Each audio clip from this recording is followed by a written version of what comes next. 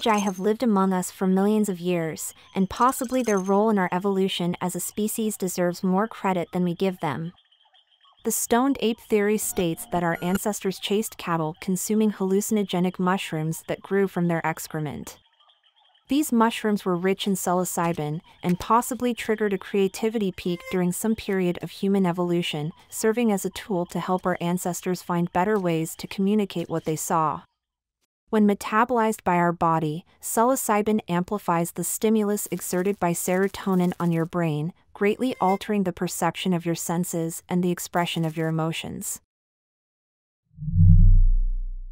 Depending on the dose, you can see sounds, hear colors, or even interact with deities from different dimensions surrounded by kaleidoscopic constellations, lights, and fractals. This happens because your brain temporarily creates new neural connections, making it hard to differentiate reality from fantasy. In addition, areas of the brain that are normally activated when dreaming are activated while being awake.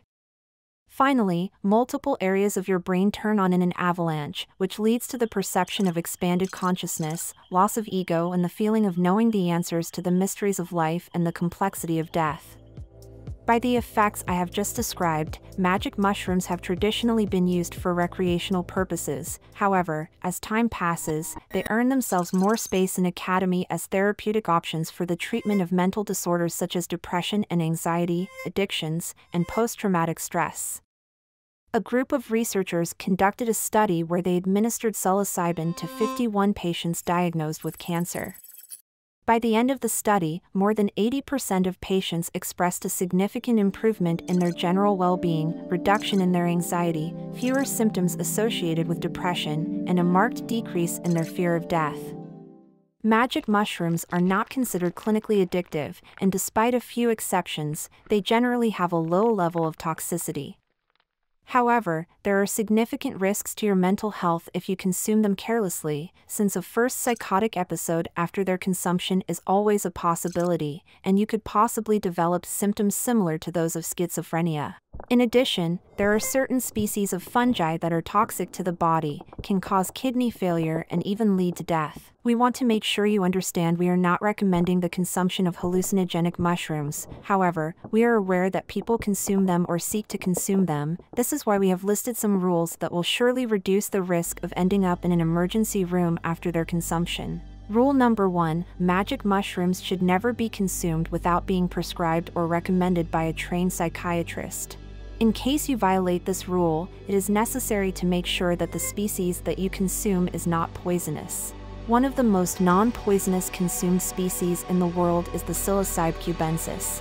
Rule number two, there must always be a sober and responsible person in charge of accompanying you at all times, acting as your anchor with reality, calming your anxiety in case of a bad trip, and facilitating any type of need you might have in case there is an emergency.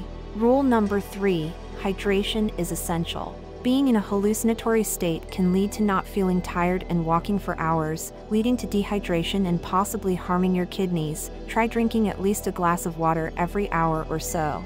Magic mushrooms should not be mixed with other psychoactive substances such as alcohol or marijuana. These types of interactions only increase the possibility of an unpleasant experience Rule number 5 Once you've consumed mushrooms, there's very little you can do to alleviate their hallucinogenic effects. If you have a bad trip, drinking milk won't make a difference, this is just a myth.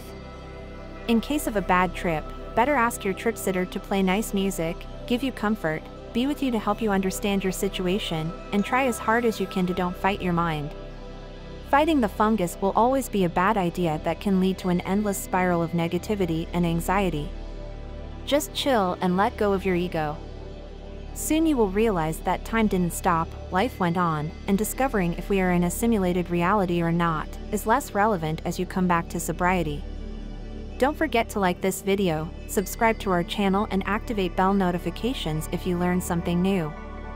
Tell us your experience with magic mushrooms in the comment section down below, we'll read them all. We have a great library of videos like this one at Tuvi English. Here are two videos you will surely enjoy watching. Thanks for watching. See you later.